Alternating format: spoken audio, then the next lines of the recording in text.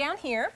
Here we have Amy, which was another one of our bleach girls when we found her. We found her a year ago, August. She was part of our our premiere with QVC Okay. a year August, and she was bleached. I mean, this hair. from here down was bleach blonde. Yeah. Now, because this is all the new grow out.